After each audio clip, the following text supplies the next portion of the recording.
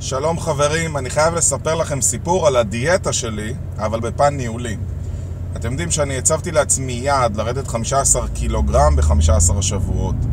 וזה לא היה סתם לזרוק איזשהו יעד, אלא אני פשוט החלטתי למדוד את עצמי עם סטטיסטיקות, עם אקסל, מדי שבוע ולראות בכמה קילוגרם אני יורד.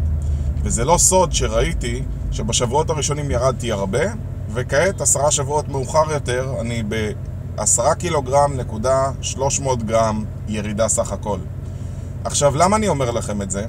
כי אני מנהל את הדיאטה שלי יותר טוב ממה שרוב בעלי העסקים מנהלים את העסק שלהם. אני מודד סטטיסטיקות, אני עוקב אחרי שבוע, אני מתכנן לשבועות שנשארו לי האם יספיק לי יחס של ירידת הקילוגרם בשבועות האחרונים ליעד של השבועות שנותרו לי.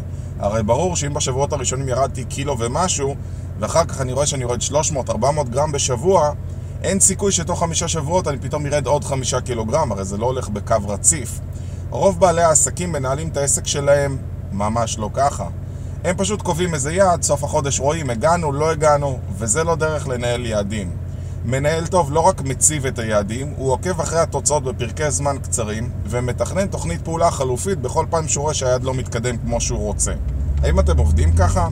כי אם לא, זה הזמן להכין תוכנית, אחרת לא יעד של דיאטה, ולא יעד כספי, ולא יעד מכירתי, ולא שום יעד יביא אתכם לאן שאתם רוצים.